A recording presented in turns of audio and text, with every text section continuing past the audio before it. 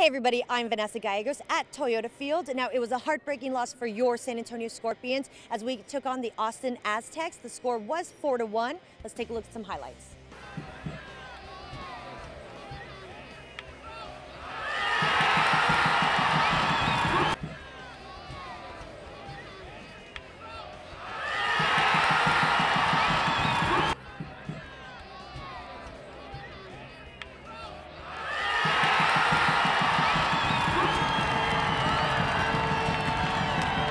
Tonight's Deep Root Funds man of the match was Rafa Castillo as he scored the only goal for your San Antonio Scorpions. Make sure to join me at our next home game on March 28th as we take on Costa Rica's U23.